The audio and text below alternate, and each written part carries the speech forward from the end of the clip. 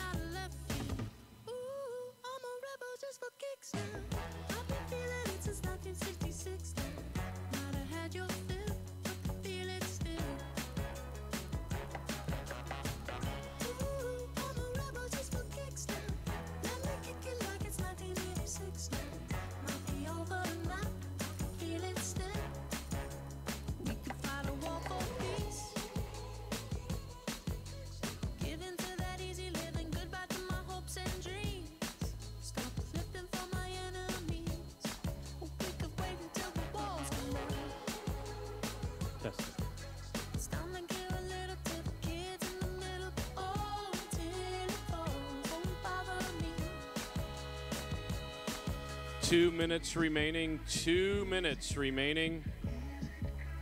All guests should probably at this time find your seat. We have a little less than two minutes remaining in warm ups.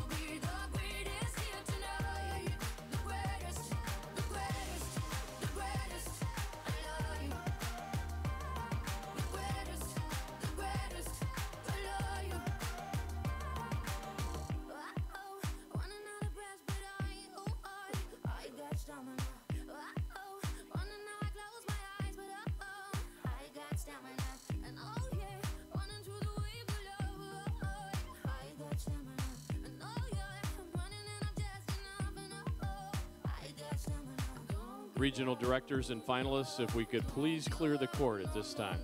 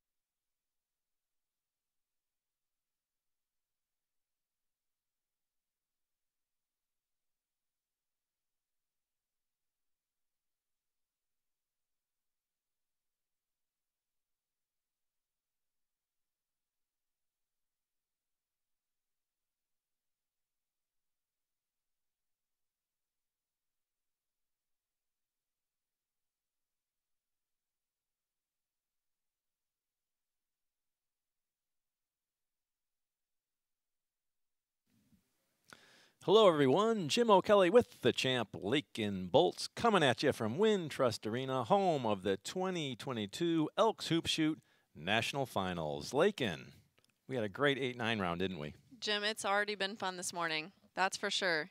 The eight, nine year olds did not disappoint. That was a heck of a shoot off on the boys' side, which we were following and went seven rounds to resolve with Croy Kendall, our champion, beating out Samuel Nolan from Indiana, Croy from Florida. Great contest on the boys' side. Girls was a bit of a barn burner itself with the shoot off. I think if you were watching the hoop shoot for the first time right there, you got to see everything that it had to offer. Exactly. You got a sense of why so many of us love this program. So uh, we are going to cut away in a moment for the run in, and we're going to go to our contest announcers in the arena. Vern Larson and Dennis Sable will be doing the run in. Uh, but we'll set up. Uh, we are we are going to follow the girls ten, uh, girls 10-11 as I said. Uh, an exciting contest today. If you are here and hoping to watch the boys 10-11, we will be cutting over to follow any breaking moments in that uh, contest. But if you want to watch it full time, go head over to Elks National Foundation's Facebook page. You will find a live stream without commentary there, and you can watch what's happening. On the girls' side today, we have five, five former national finalists competing, uh, including the entire podium from last year's virtual conclusion to the 2020 contest. All three placers are back to do it again, plus two others. Talk about the definition of been there and done that. Exactly. They all know what they're getting into, that's for sure. Now Should be entertaining. We have some experience on the boys' side, too, with three returning finalists, as well as three who had been here before as the younger brothers of competitors. So, you know, sometimes the 10 11 jump can be difficult. Uh, Lakyn, you are three time national finalist. First time in 2006, you won 8 9 and then next year made it back 10-11 and dropped down to fifth place. It can be hard for for competitors to make that jump because they're shooting from the actual free throw line, not in front of it anymore, right? That's that's correct, but and that's where you know practice is so important too, because especially a time frame from when you're switching from that shorter line back to the regular free throw line, the, the practice makes a difference. All right, let's go to contest announcer Dennis Sabo, who looks like he's about ready for the run-in. Now, Please turn your attention to the center court, where regional directors Jeff Franklin and Terry McMichael will demonstrate the official signals used to indicate made or missed shots during the hoop shoot. When a free throw counts, referees will indicate the shot is good by this signal. When a shot does not count, Due to a miss, referees will indicate no score by this signal. When a shot does not count due to a violation, referees will indicate no score by this signal. Thank you. For a complete list of contest officials, turn to page 10 of your contest scoring booklet. And now, Dennis will introduce your 10 and 11 year old 2022 Hoop Shoot National finalists. All right, fans, are you ready to make some noise for 24 amazing kids? We're going to start it off right now.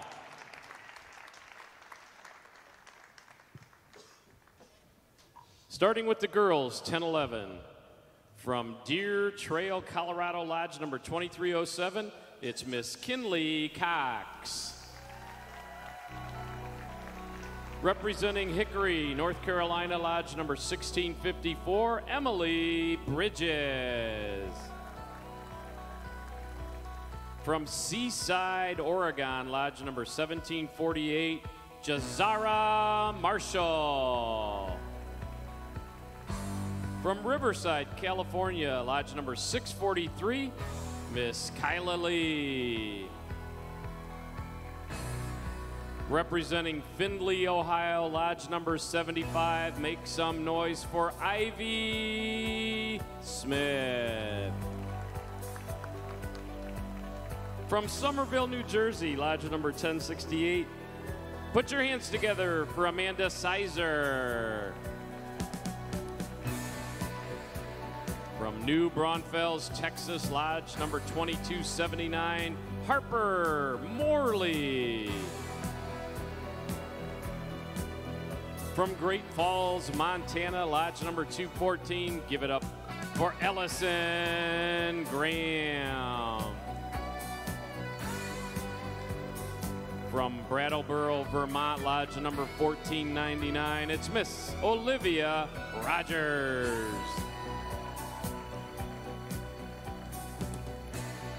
From Pulaski, Tennessee, number 1827. Make some noise for Miss Aubrey Bryan. From Rochester, Minnesota, lodge number 1091, Zadie Farmer.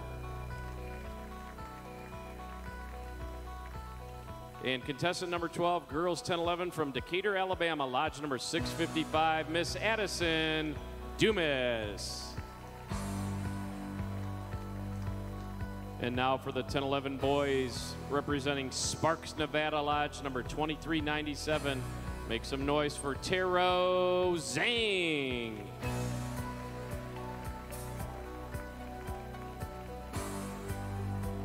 From Florence, Kentucky, representing lodge number 314, Mason Davis. From Wadena, Minnesota, lodge number 2386. Give it up for Easton Missy Gaddis.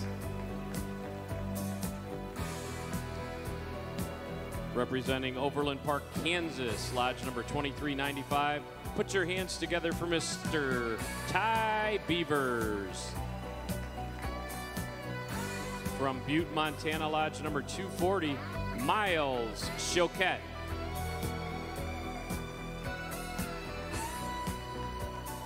From Manistee, Michigan, lodge number 632. Let's hear it for Kevin Jackson, ladies and gentlemen. From Greater Spokane, Washington, lodge number 228, Mr. Maddox Hodges. Representing Crestview, Florida, lodge number 2624, Preston Elliott. From Claremore, Oklahoma, number 1230, give it up for Cooper Thompson. Representing Tri City, Rhode Island, lodge number 14, Patrick Wingate. From Herkimer, New York, lodge 1439, Mr. Brett Saunders. And contestant number 12, representing Lake Norman, North Carolina, lodge number 392. Give it up for Jason Wamble.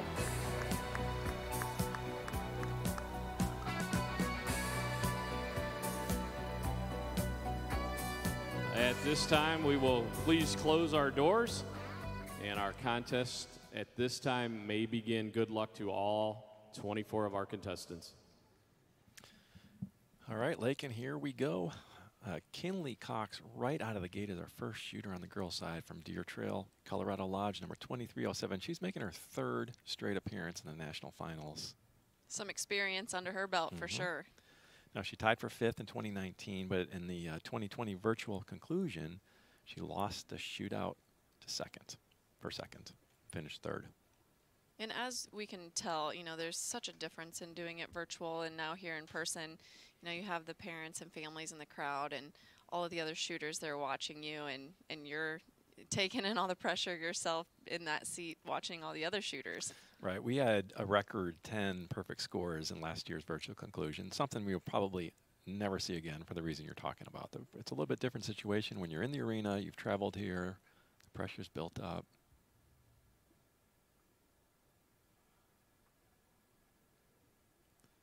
Two practice shots for Yeah. Kinley. Each shooter can choose between zero and five practice shots, and then once those are over, the line judge will make contact with each of the eye contact with each of the scorers, and we will uh, shoot for score. They will do a round of 10 going through each of the 12 shooters, and then a second round of 15 with no practice shots.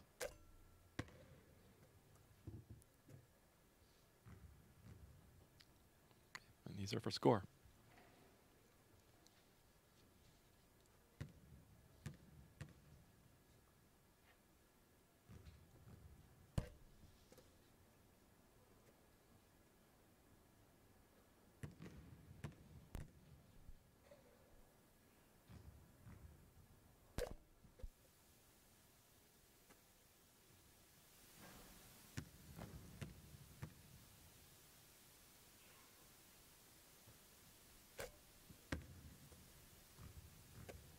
And as I was talking about Jim and the, the eight and nine year old, how I always actually preferred to go first. That way you could kind of set the tone for everyone else behind you and, and make them match you. Um, I'd love to know Kinley's perspective on that Right. as she's got the experience under her belt and and now shooting first. You can't get your hand out there in the face of the shooter for a free throw. You can't defend against it.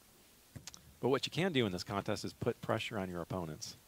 And uh, when you are shooting first, you have the best opportunity to do that.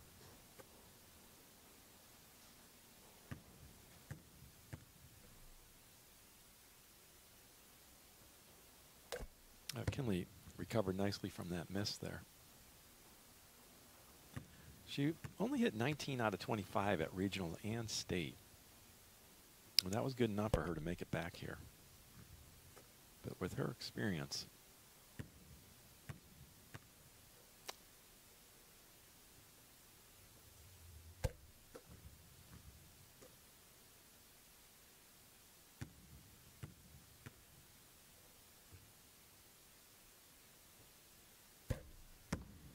All right, so she grabs the lead with a nine.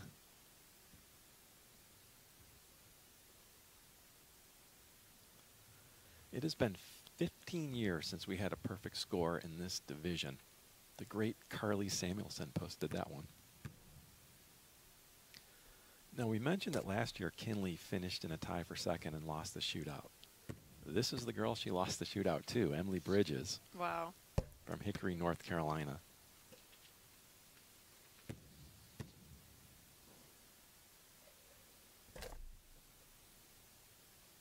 I believe Carly Samuelson, she competed when I won nationals back in 2006, and um, she might have been the one to beat me In to, the- uh, yep, if she posted the perfect score.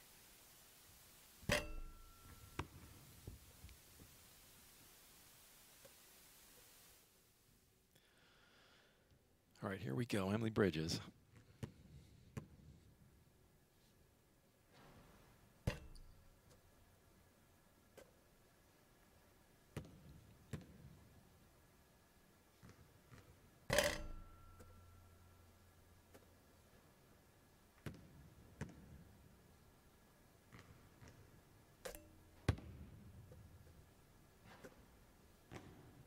And again, we'll see if it takes any adjusting for, for these kids.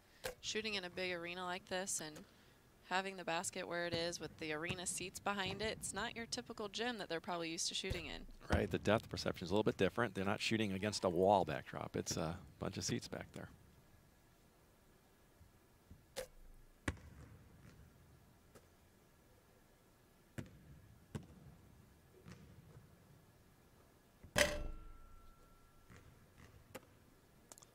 You can see the kind of the open background there.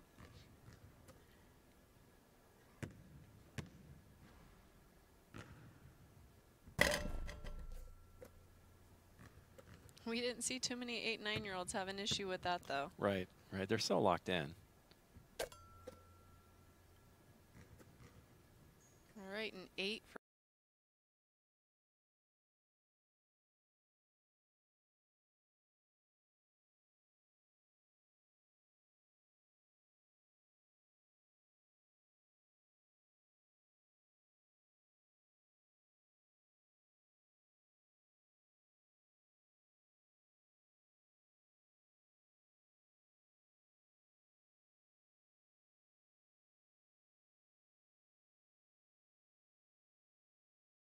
for Side Oregon Lodge.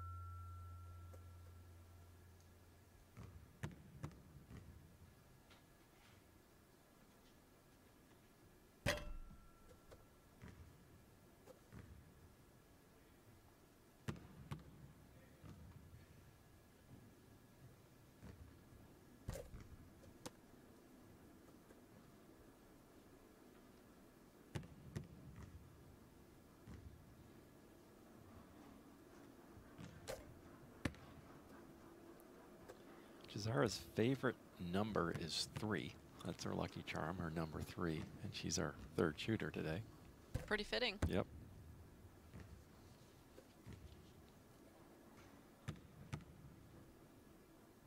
And her favorite part of the hoop shoot is when she actually gets to shoot. So right now, this is it. this is what she's been looking forward to.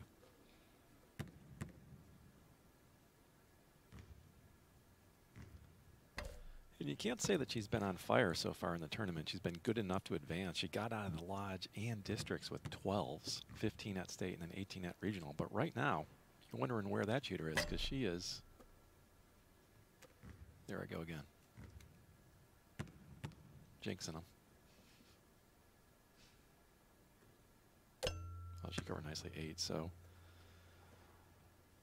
through three, we've got uh, Kinley with nine and Emily and Jazara with eight apiece. Here comes Kyla Lee, whose sister shot in the 8-9 girls. She's sponsored by Riverside, California Lodge, number 643. She's wearing the t-shirt made especially for this year's national finalist, designed by a local Chicago street, street artist, Miguel Del Real. Cool looking. And her biggest fan is her dad and her little sister. So I'm sure they do a lot of shooting together. Yep.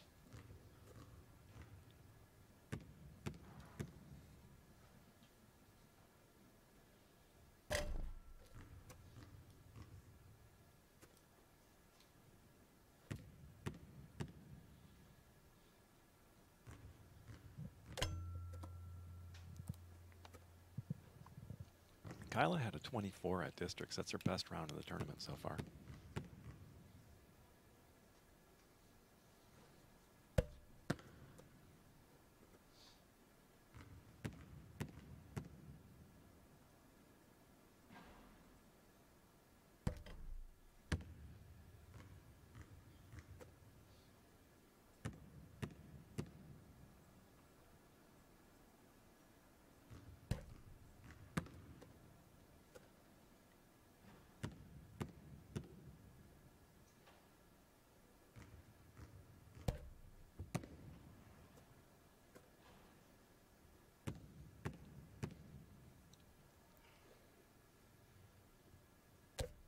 Kyla has a nice little routine here. You Yeah. see the three dribbles, then she takes her time before even shooting the ball.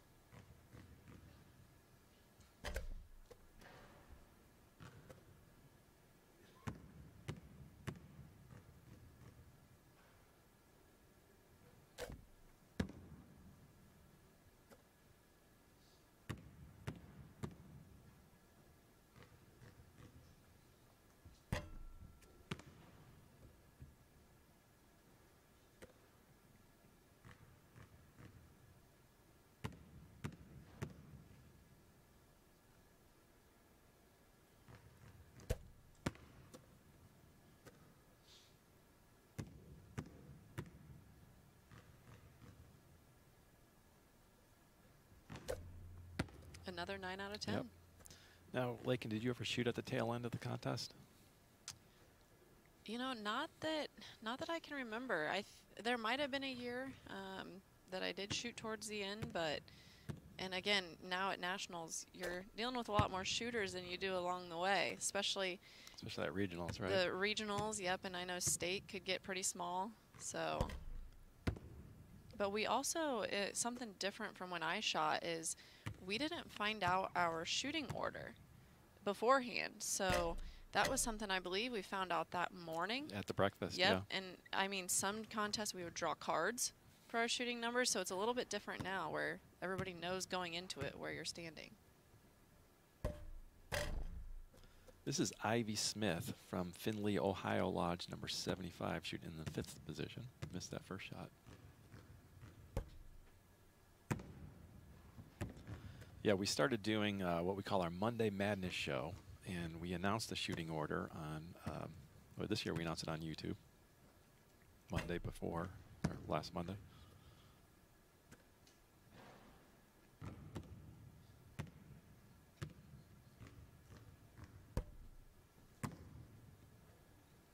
Our shots look a little bit strong.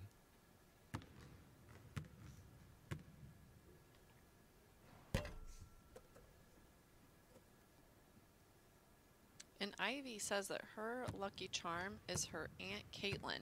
Wow, that's So nice I, for Aunt Caitlin, I right? sure hope Aunt Caitlin is in the stands tonight for Ivy.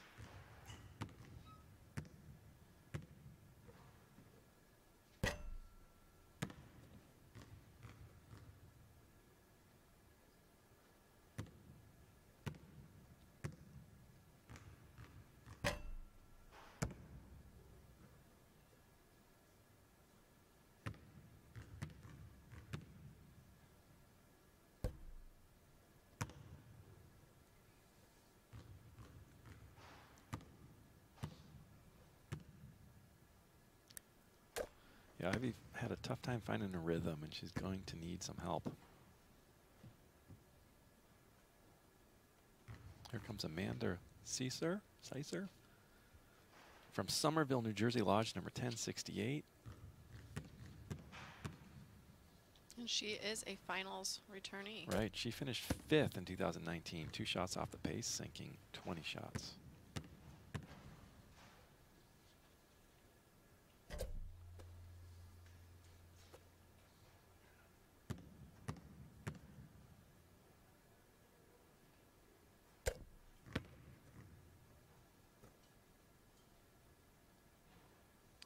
These will be for score.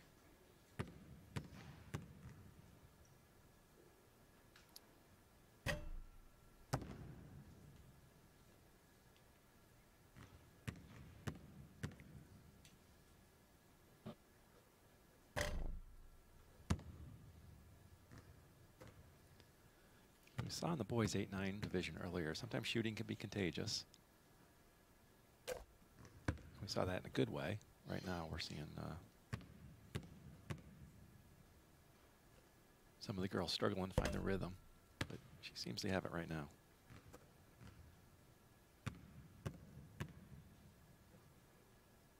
Yeah, we finished out with some perfect 10 for 10s on the boys' side. A handful of them.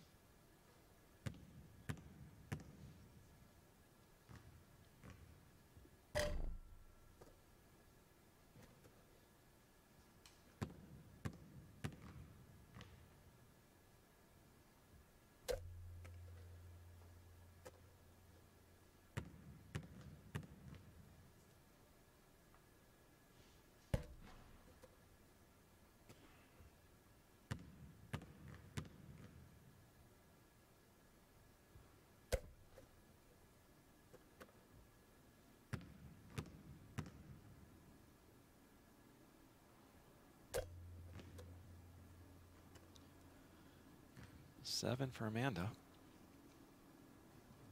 And here comes Harper Morley from New Braunfels, Texas Lodge, number 2279. Again, wearing that national finalist shirt. They, it seems to be a hit with finalists.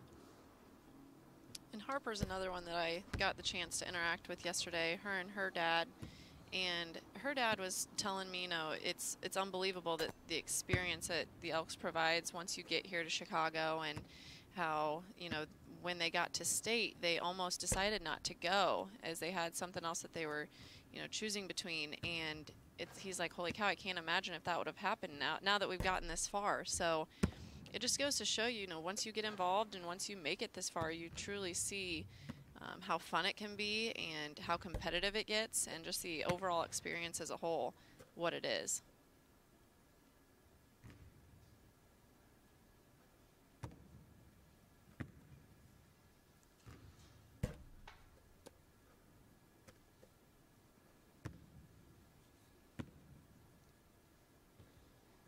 And Harper practices with those pink knee pads on as well. Well, I can say that. Consistency is important to a free throw shooter.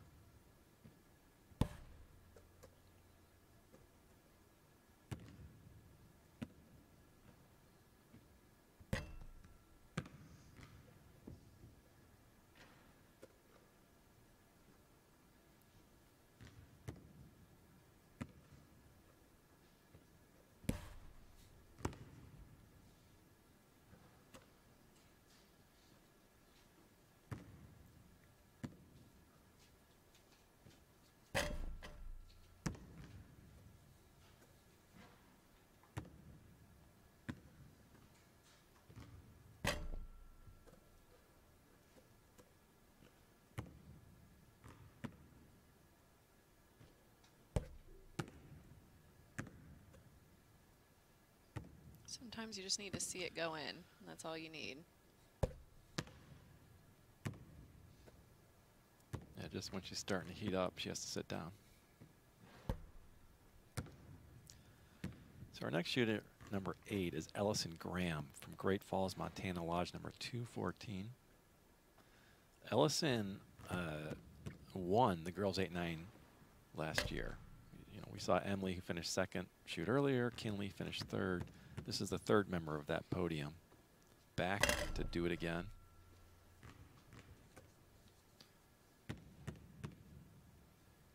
Yep. She's uh, flying her colors, Montana state champion. Uh, she was perfect at regionals.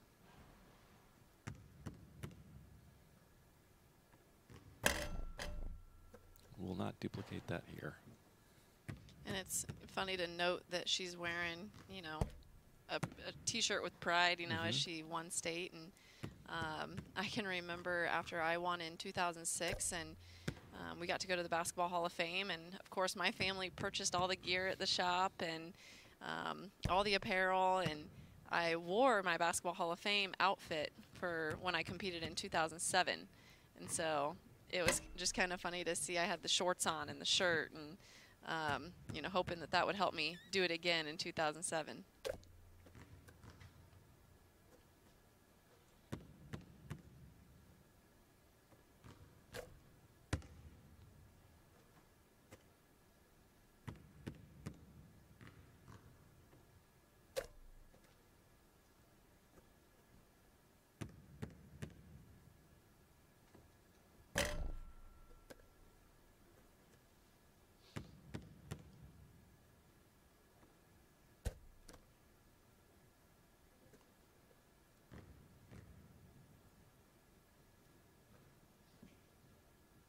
So Kinley and Kyla are still tied at, at the top with nine. We've got four shooters remaining in this first set.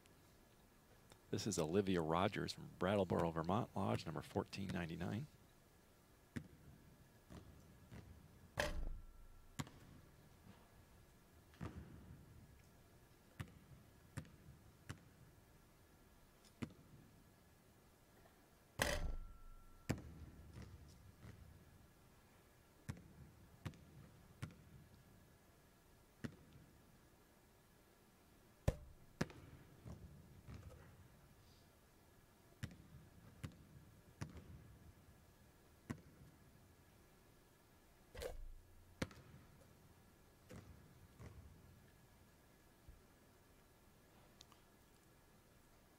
Lakyn, when you uh, when you finished fifth in 2007, what kind of motivation did that provide you for the uh, the next year?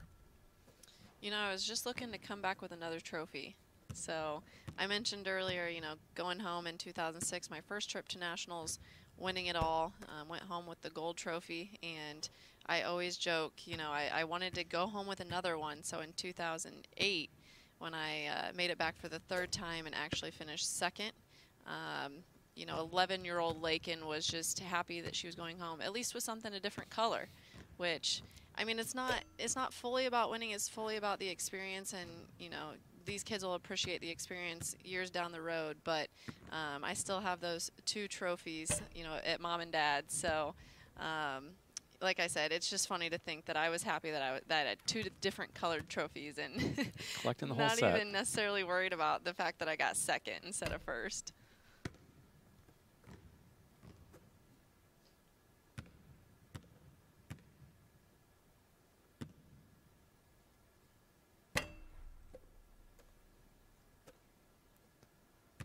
Nice rebound right there by I think it's Elise Bessinen.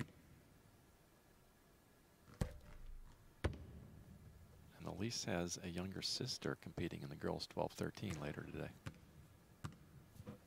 Another family that's no stranger to the hoop shoot. Yep.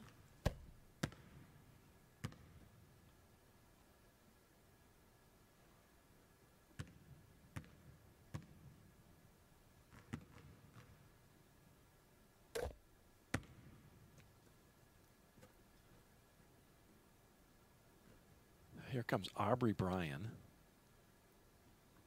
She wants three practice shots. She's from Pulaski, Tennessee, Lodge number 1827.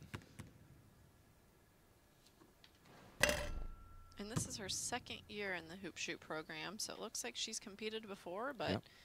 has made it to nationals this year.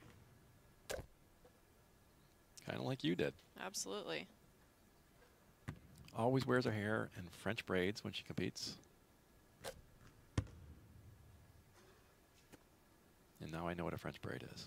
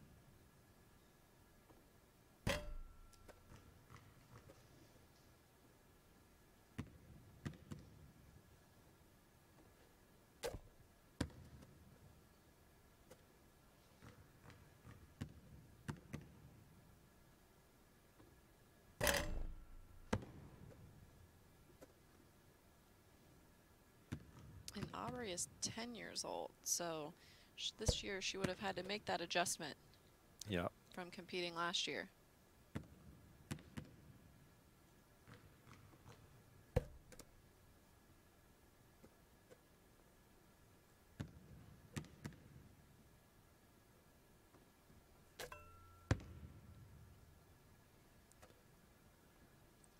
Our next shooter is Zadie Farmer. She's our fifth and final returnee in this field.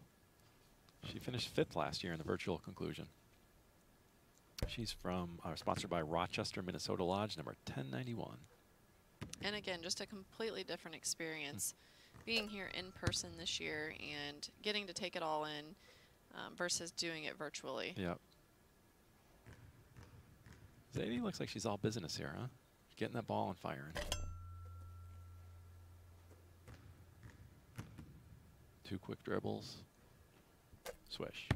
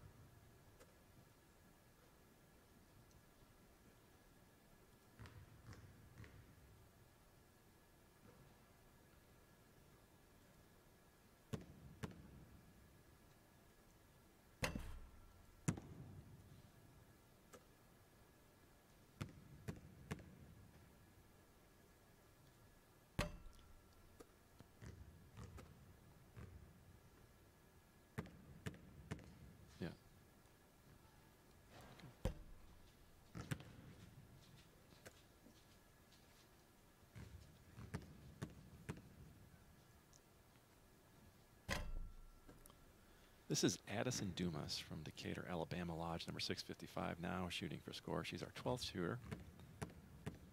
We'll complete the round of 10.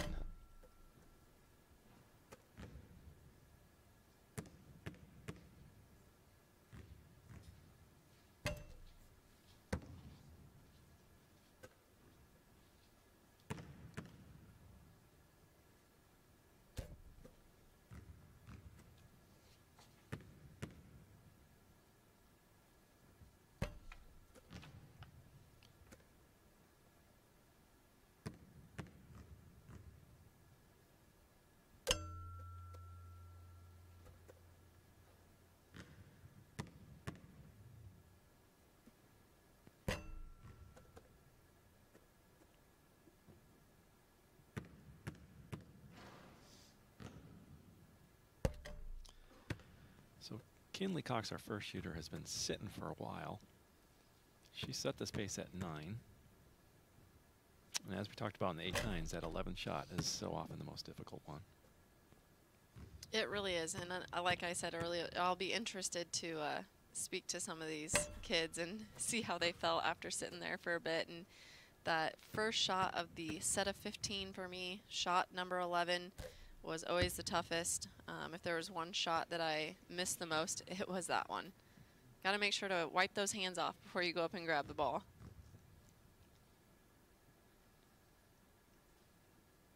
Okay, here goes Kinley.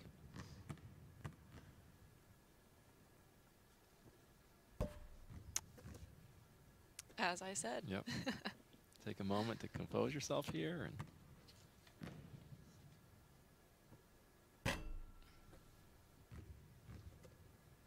And in the moment, it's not even necessarily anything that you think about until you've been there and done it, and then you learn from it.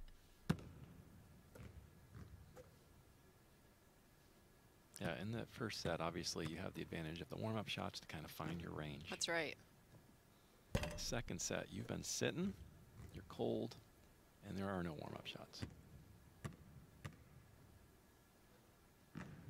And when I would practice every single day, I would try to imitate that. I would, you know, shoot my 10 and then I would walk around or I would go do something and then come back to shoot the, the second set of 15 because you don't just go right back into it.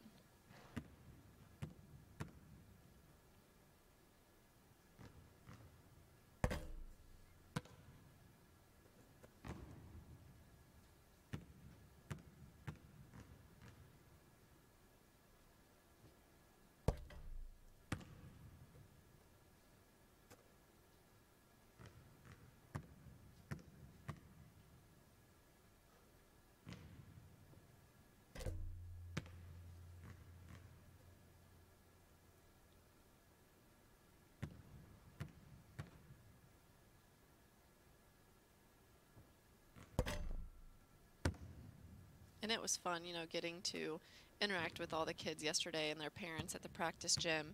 Um, they, I know, I did my best to try to rebound, and then I would even walk up to some of them and say, "Hey, why don't you let, you know, Dad rebound, and then he's going to throw me the ball, and I'm going to hand it to you." So we're going to, you know, make it as realistic as possible, getting ready for tomorrow. So that was pretty fun.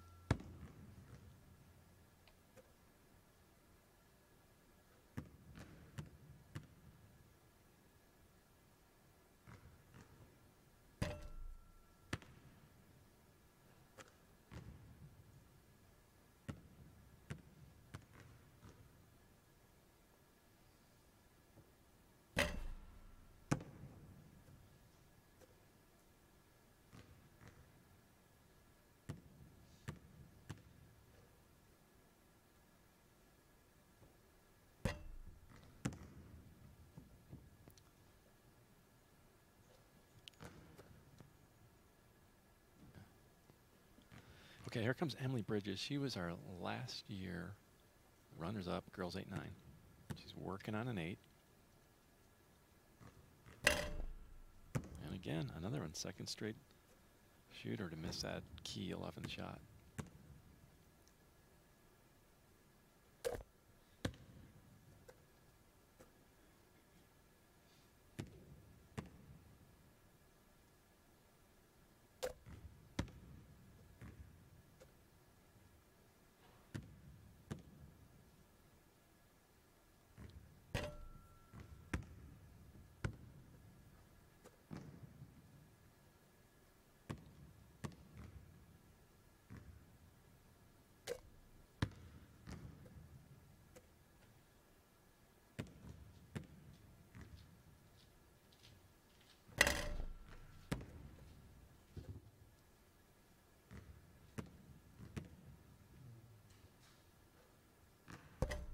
And Emily says that her biggest fan are her grandparents.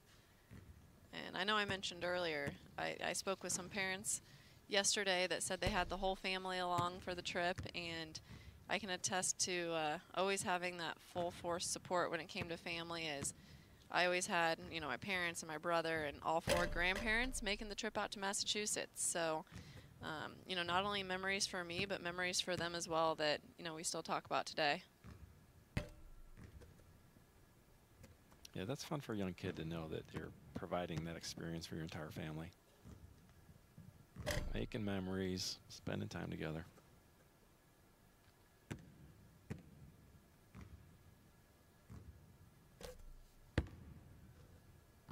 And that just goes to show, you know, the experience isn't just for the kids.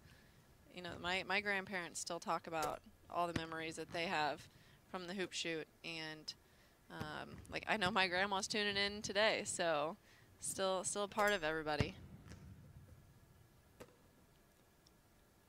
Yeah, we've talked to families, uh, you know, former finalists who've made it, made it year after year, and would say, you know, every year that was our family vacation, the That's right. National Hoop Shoot Finals. That's right.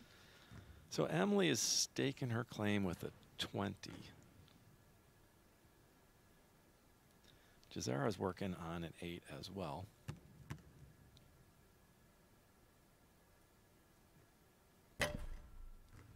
That's three in a row to miss that 11th shot.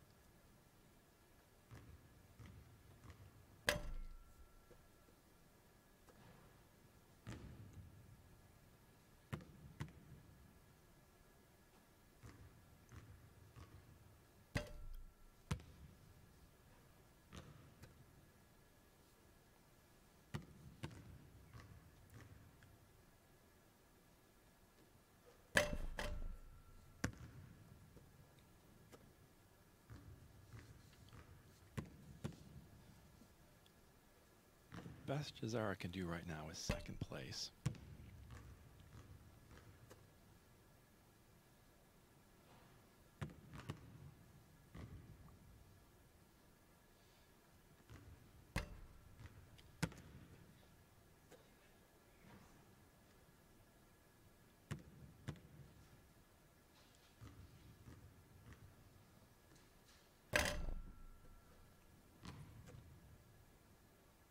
Just still trying to find that rhythm. Rhythm, yeah.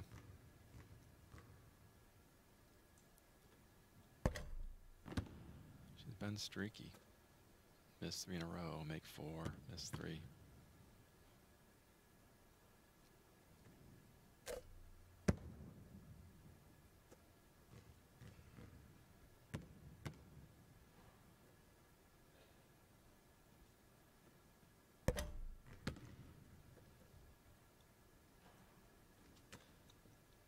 That brings up Kyla Lee. She's one of the, I think, two remaining shooters with nines. That is correct.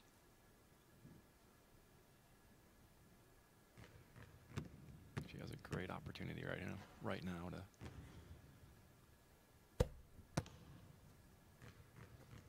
secure it. Worst, to shoot off her first.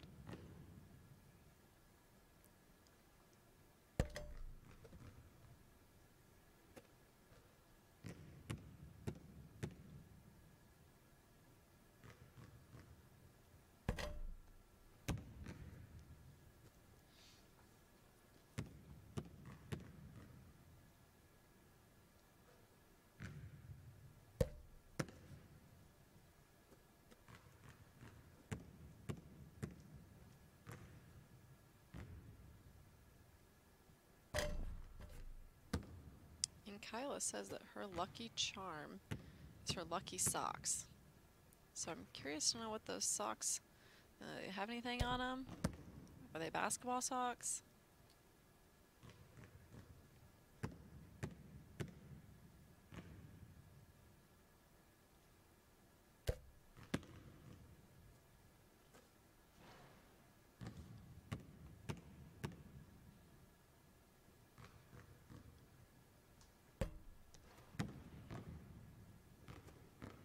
There on the right of the screen, you can see Jim McNitt, the regional director. He is the contest manager on the girls' side and is retiring this year after 16 years as a regional director.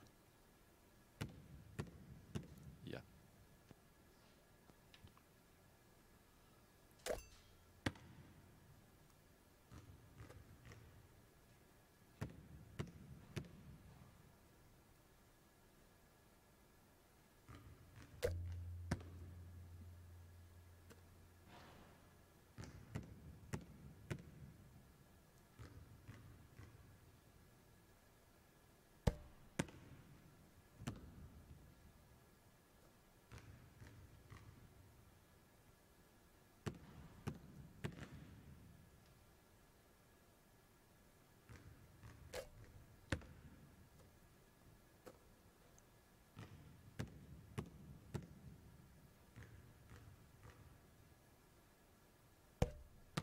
Now you might wonder why that fourth official on the court hasn't moved for any of the long rebounds. Her job is actually to count the dribbles. A good finish there for Kyla. Yeah, yeah. So that's a 22, right? Yep. Puts her in first. Emily bumps to second. That was eight in a row to finish it out for Kyla.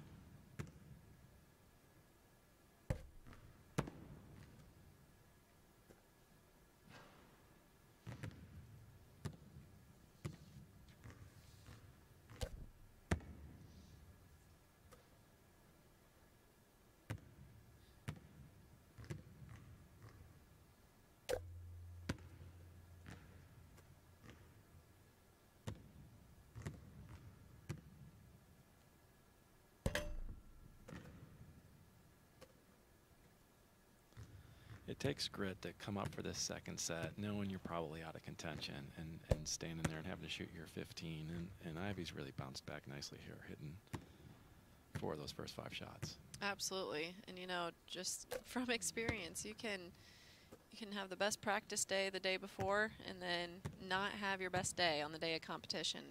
It's all that it takes.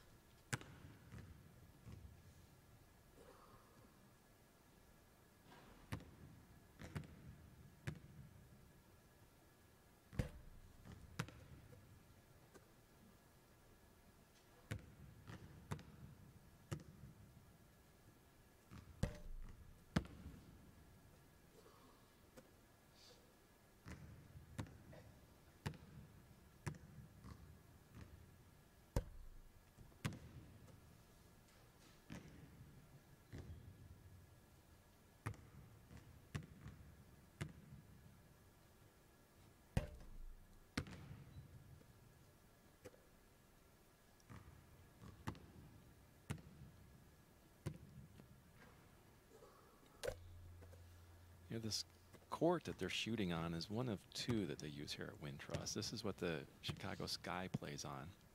It is the same floor that they won their WNBA championship last summer or last fall on. So that's kind of cool for our hoop shooters. Uh, definitely another cool thing that they get to walk away saying.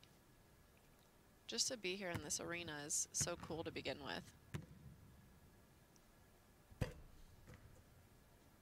Again, a nice, a nice second round for Ivy.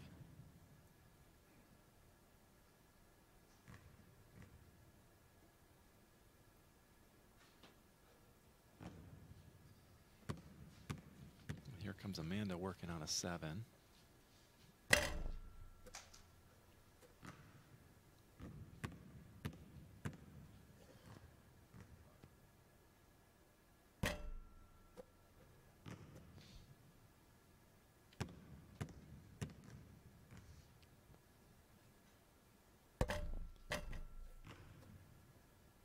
We were tracking two boys on the boys' side who were perfect in the first round, but both faltered in the second.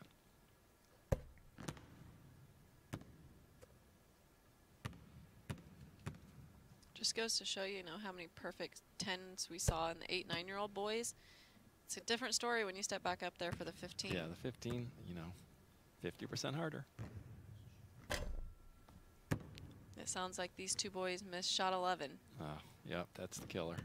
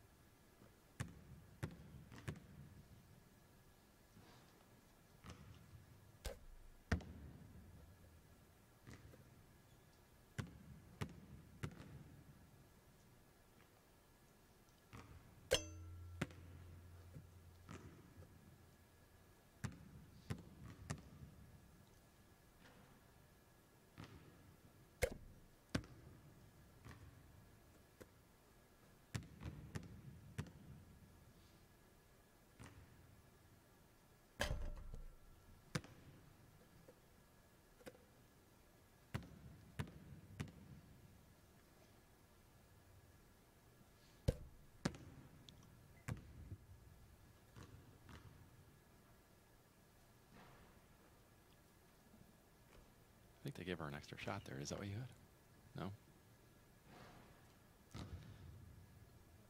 Yeah. Okay, we have six shooters left here. Kyla Lee's 22 is still holding up, but three of these final six shooters can uh, change that math.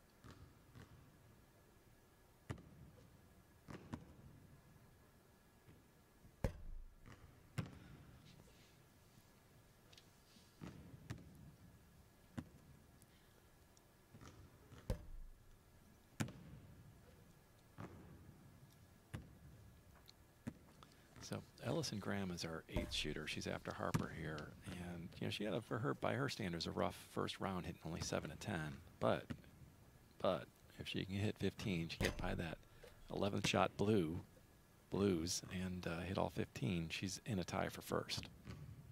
It's not over yet. Nope.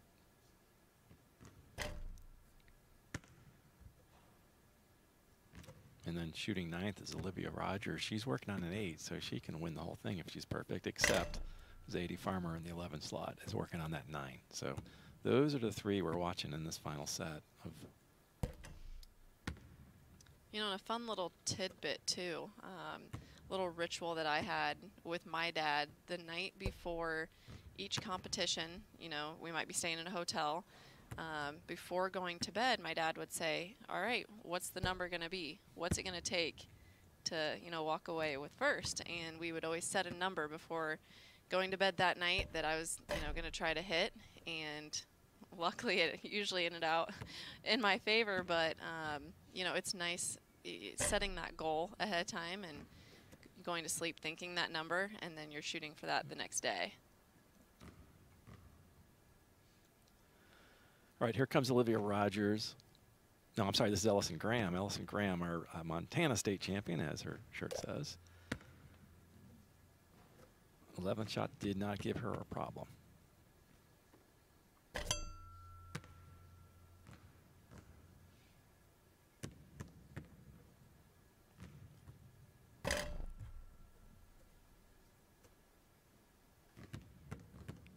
So Ellison will not win a second championship today.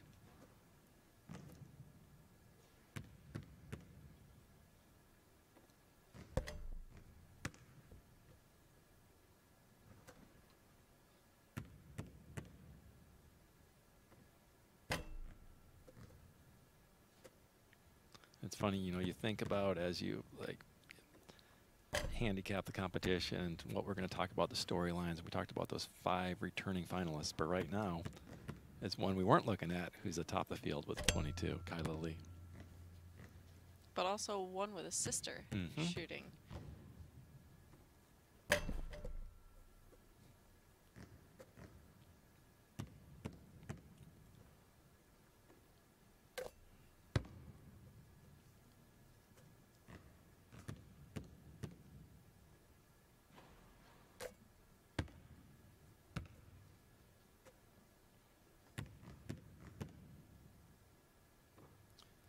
This is Ellison's third straight finals appearance, and uh, quite a redemption story. Her first year in 2019 didn't go according to plan. I think she finished ninth or 10th, but bounced back to win it all last year. in those types of experiences, it's going to prepare these kids, you know, when they start playing high school basketball per se, or even high school sports in general. Um, you know, you're going to be able to look back and think back to those experiences, and you'll then realize kind of what they taught you back then. And it's easier for me to say now than, you know, of course, at the age of 10 or 11, you're not really realizing that quite yet.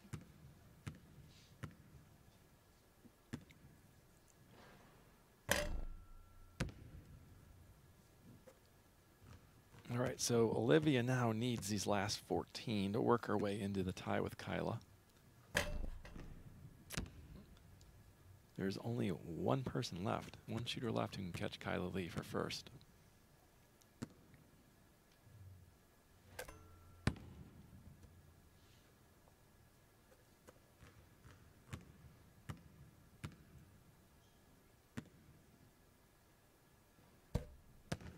And again, we should point out that what we are telling you, our results are unofficial. We are not the official scorekeepers for the Hoop Shoot Finals.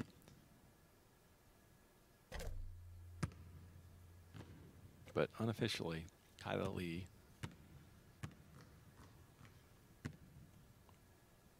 is the person to beat, and only one shooter remaining can beat her.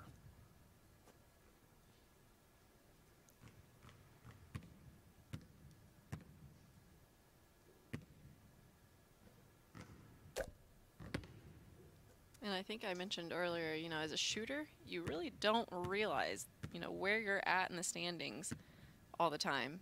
Um, you don't know, you're, you're not sitting there necessarily counting how many shots the other um, contestants are making or missing. Um, but I think we saw in the eight and nine year old, it was like, okay, we had that long shoot off, and it was, all right, well, where am I standing? Right. They may not even know they're in a shoot off for first. They're, they just know they're in a shoot off. That's right. I think the parents might know it. The but- parents? but when you're sitting there, it's not necessarily you're not you're not really knowing all the time. Yeah, to, to follow the contest, you need to be keeping score. We also have a shot tracker nowadays that you can rely on on that score. Today we are keeping our own score and also double checking with the uh, the shot tracker.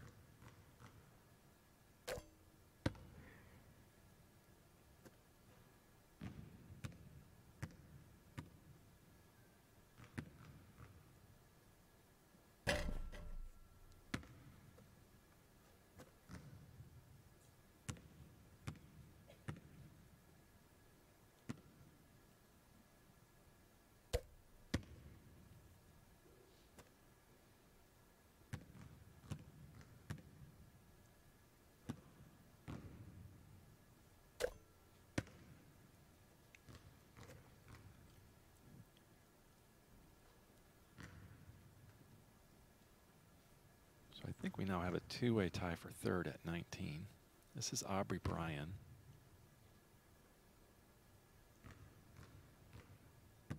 She needs all 15 of these shots to work her way onto the podium.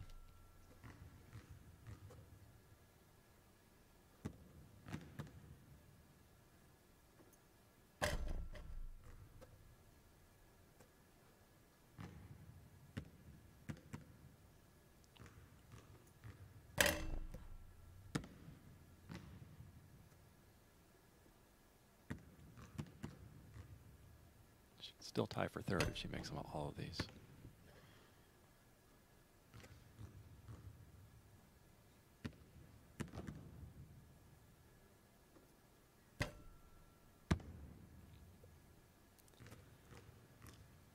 Zadie Farmer, our next shooter, has been sitting for a long time. She's sitting on a nine.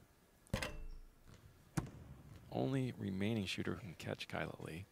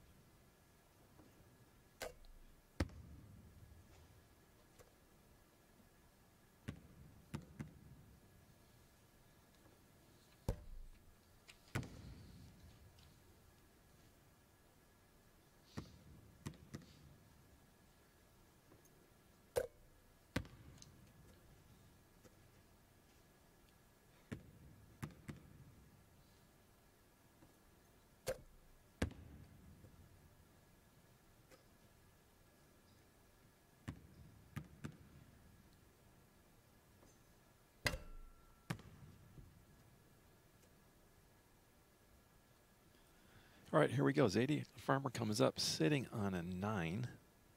Makes them all. She's our national champion. Misses just one. She forces a shoot off.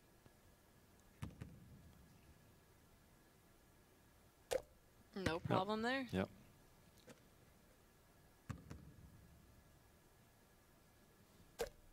And again, it's just so important to find your rhythm in the set of 15.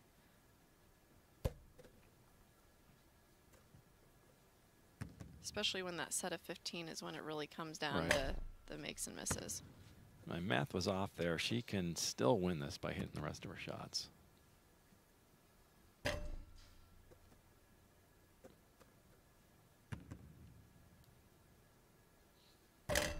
Hmm. All right, now she's hoping to finish the string here to force a tie with Kyla Lee.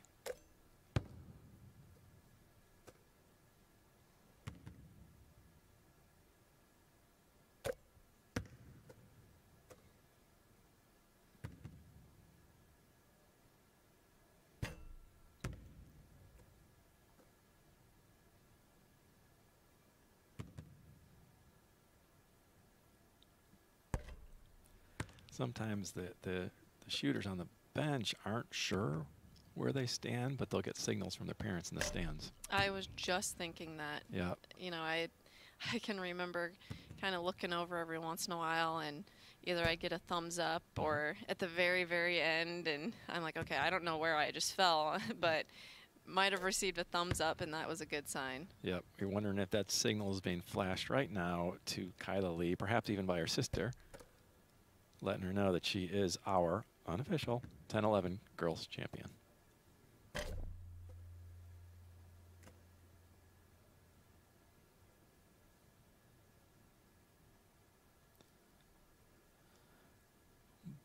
But I have Zadie in second and Emily in third. And this is our final shooter, Addison Dumas.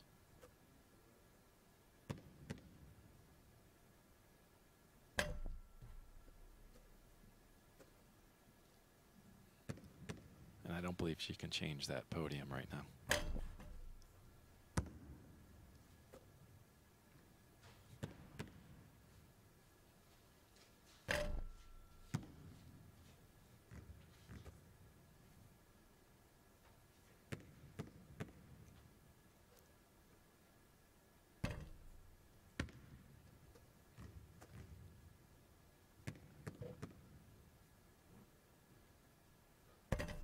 So Kyla might be to the point where she's taken that sigh of relief Mhm. and hoping that it worked out in her favor.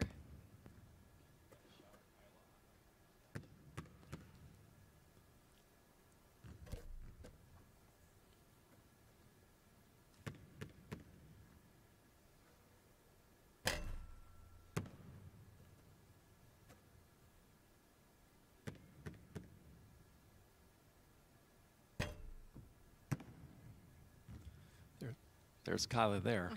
I'm unclear whether she knows she's a champion. Can you tell? She's got the jacket Yep. back on and hanging out at this point, so we'll see. And once you get that second set over with, the set of 15, it's it's a sigh of relief regardless. Win or lose, it's Yes, over, it and you can actually start enjoying yourself. And I mentioned earlier, you know, the breakfast in the morning is always kind of entertaining to see because none of the kids eat anything. None of the kids are talking to each other quite yet. and then after the competition, I know I always encourage kids to, you know, get to know those around you. Um, don't be don't be shy. Don't be afraid to get out of your comfort zone and start, you know, running around with these kids in the hotel and and making friends because I still stay in touch with many many families and girls that, you know, I went along the hoop shoot with. Well, there's Kyla Lee, your girls 10 11 champion for 2022. Again, we have Zadie Farmer, one of our returnees, finishing second at 21, and Emily Bridges, last year's second place finisher in girls 8 9, collecting a bronze trophy. She's going to go for the whole set, maybe, uh, with 20. And I don't believe we have any shoot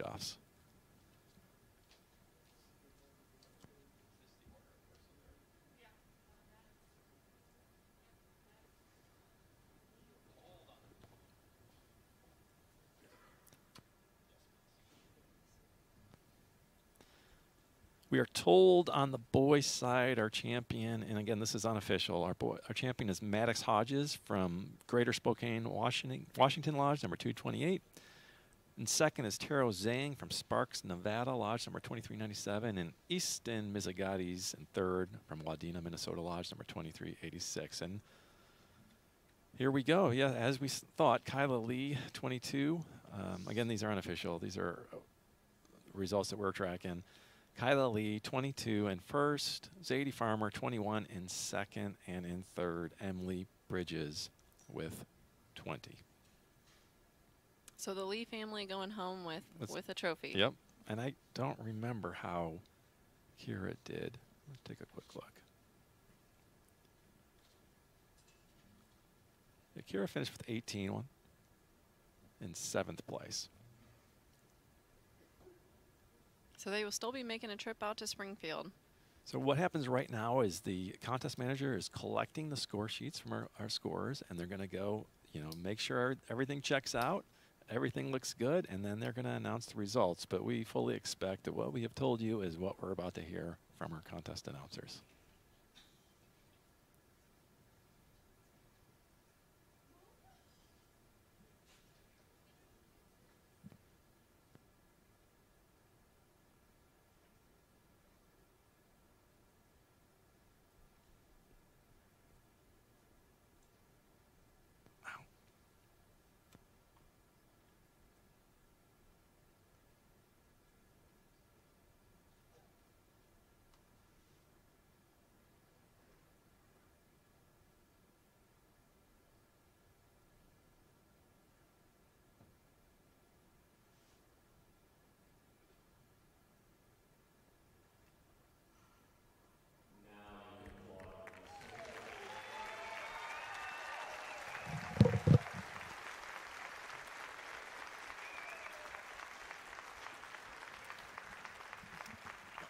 So looks like we got through that without any shoot offs in the 10 11.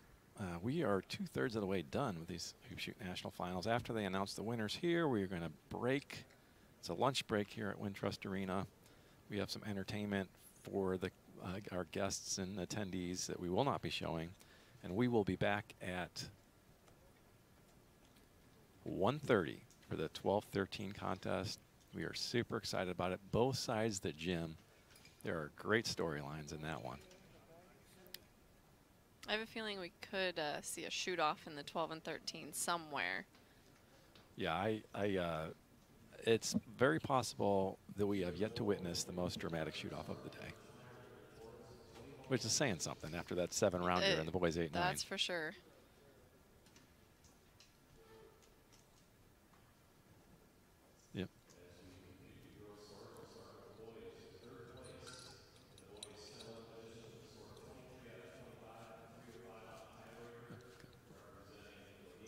Okay, let's go to our contest announcer, Dennis Sabo, to announce the winners.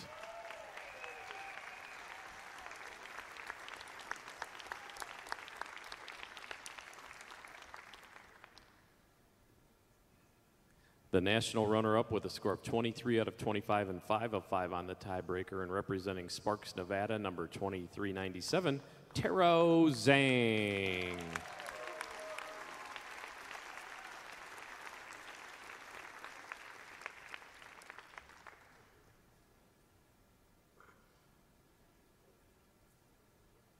And your national champion in the boys 10 11 age group with a score of 24 out of 25 and representing Greater Spokane, Washington, number 228. Give it up for national champion Maddox Hodges.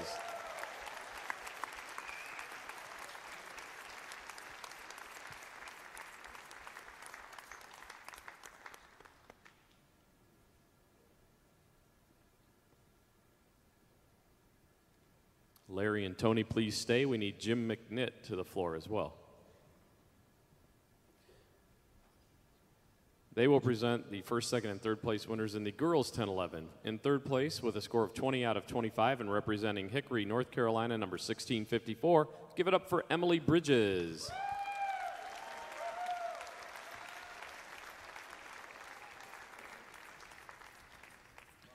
The national runner up with a score of 21 out of 25, representing Rochester, Minnesota, number 1091, Zadie Farmer.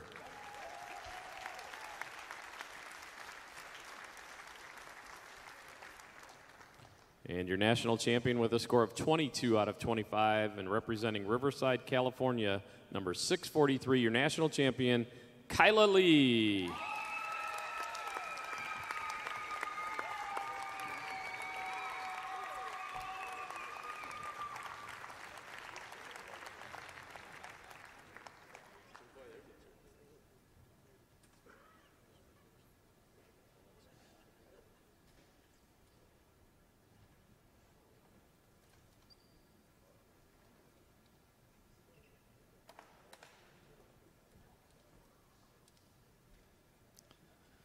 All right, so again, those are our scores in the girls 10 11. Uh, Kyla Lee has just put her name in the Naismith Memorial Basketball Hall of Fame where she'll find your name as well, Lakyn. Yeah, and that is truly something special as you come away winning um, the national finals. As you do, you get your name, you know, out there in the Hall of Fame. And of course, when I was competing, the contest was out in Springfield, but you know now it's here in Chicago. So they fly the winners out with their family to see that. And when I had to compete, I had to make it back to nationals to see my name. So truly something special that they'll remember forever and get to kind of have bragging rights on. All right, we'll see you for 12 13.